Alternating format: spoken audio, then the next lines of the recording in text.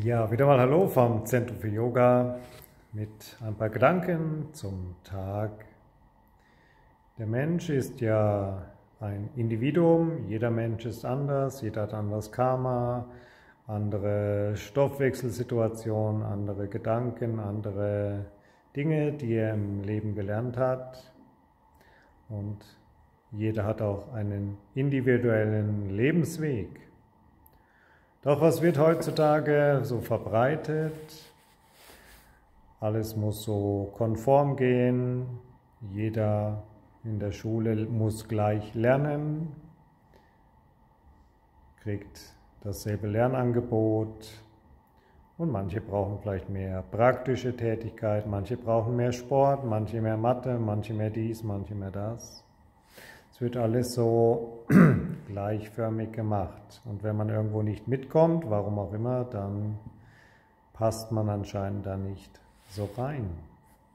Menschen wollen sich anpassen, müssen sich anpassen, sollten sich anpassen, weil alle das so machen, müssen alle dies und das Medikament nehmen, weil das macht man halt so, das ist halt so. Ja, aber es gibt immer Menschen, die vertragen halt diese Dinge nicht. Die brauchen vielleicht mehr Pflanzliches. Oder in den Arztpraxen alles konform. Jeder Schmerz wird dann mit äh, Cortison oder so behandelt oder Ibuprofen oder was auch immer. Je nachdem natürlich, wo er auch herkommt. Das sind so gleichförmige Strukturen, wo man genau sieht. Also ich sehe es in der Naturpraxis, das funktioniert halt nicht bei jedem. Ja, das ist richtig so, ja, aber der andere hat vielleicht dann Nebenwirkungen. Ja, da muss man durch, da muss man dies, da muss man das. Und das, was schon gar nicht mehr beachtet wird in den meisten Medizinrichtungen, auch im Leben natürlich, ist der Mensch selber das Individuum, die Seele wird oft nicht beachtet. Es muss so gehen, Arbeit, es muss weitergehen, macht mir keine Freude mehr. Ja, aber man braucht es, du musst weiterarbeiten. wie weit sind wir dann auch von diesem Individuellen? Nicht weit weg, meint man, aber ich denke, man hat sich schon weit entfernt.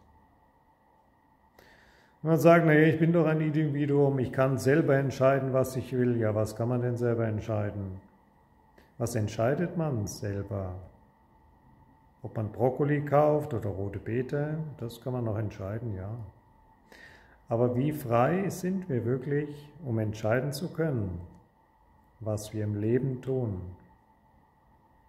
Ja, man kann sagen, ich gehe heute ins Kino, entscheide ich mich fürs Kino, das ist meins, ja, das mag so sein. Aber im Leben, wie viele Menschen entscheiden sich wirklich für den individuellen Weg? Wer einen persönlichen eigenen Extraweg geht, der gehört manchmal nicht mehr dazu. Wenn man andere Meinungen hat, gehört man nicht mehr dazu. Und was machen dann manche? Die, die nicht dazugehören, bilden extra Gruppen. Ach, jetzt gehören wir zusammen, wir sind die Nicht-Befürworter von dem und dem und da sind die Befürworter von dem und dem.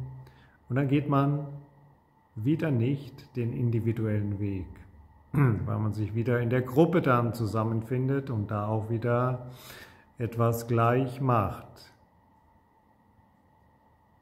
Auch im Yoga zum Beispiel, da gibt es dann Yoga-Gruppen, müssen nicht mal Sekten sein, aber alles schauen gleich angezogen aus. Da ist man nicht individuell. Manche wollen dann werden wie ein berühmter Schauspieler, ah, der macht gut und der schaut aus und der hat immer das an und das schaut gut aus. Ja, das mag bei dem so sein, aber selber schaut es dann nicht so gut aus. So, ich sehe es immer, wenn ich so in Stuttgart bin. Manche sind dann so stylisch angezogen, so die Knöchel frei und so enge Hosen und so enge Sakkos. Das schaut bei manchen wirklich gut aus, aber bei vielen schaut es wie gekünstelt aus. Und auch hier will man dann andere Menschen, Modetrends, irgendwas nachmachen aber das ist nicht individuell. Aber woher weiß man, was individuell ist? Nun, indem man sich erstmal auch ein bisschen zurückzieht und das tut, was von innen rauskommt und nicht was von außen eingebläut wird oder gezeigt wird in den Medien. So ist es richtig, so muss es ausschauen, bei dem machst du dies, bei dem machst du das. Und es sind in allen Bereichen diese Themen da. Ob es die Psychologie ist, die Medizin, an der Arbeitsstelle, es ist immer so, dass der Mensch meist nicht mehr als Individuum gesehen wird, sondern ist ein Objekt, was funktionieren muss, arbeiten muss, so und so sein muss, sich so verhalten muss. Und wie viel Individualität haben wir da noch? Und wie gesagt, wenn jemand andere Meinung allein schon hat, dann ist das so wie absonderlich. Ah, der denkt, oh, wir brauchen das und das Mittel nicht mehr für diese und jene Erkrankung. Dann haben wir gesehen in den letzten Jahren, was mit Individualität gemeint ist. Und es wird nicht gewünscht. Wenn das Kind in der Schule nicht zurechtkommt, wird sagen, es hat ADS, ADHS, kann nicht lernen, kann nicht dies, kann nicht das, müssen wir therapieren. Ja, aber vielleicht ist diese Schulmethode nichts für das Kind. Vielleicht denkt es sich, was soll ich in Biologie im Buch lernen, was die Pflanze macht? Hey, warum gehen wir nicht raus in den Wald und gucken die Pflanze an? Rupfen sie raus, sezieren die Pflanze, schauen die mal an, fühlen die mal an. Ja, das geht nicht, da haben wir keine Zeit, da sind wir nicht versichert, da ist dies, da ist das, da jenes.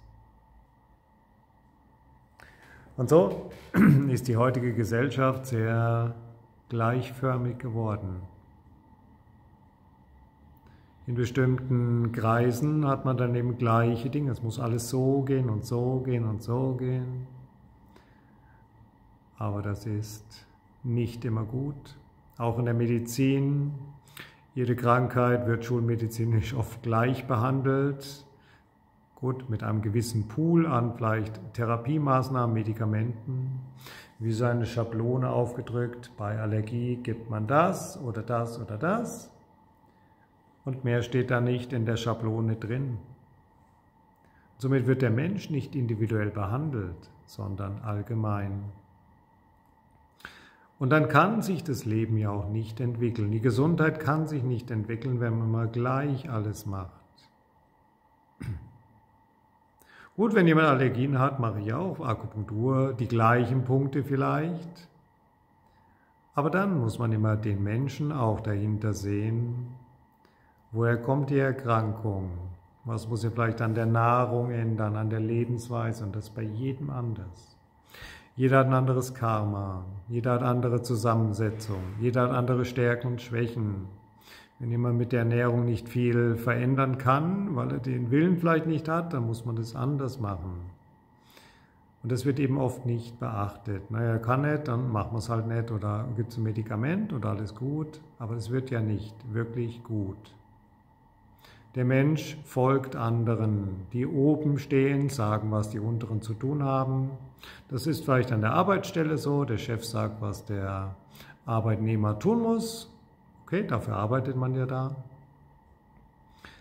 Aber wie man zu leben hat, was der Weg ist, das kann man nur selber rausfinden.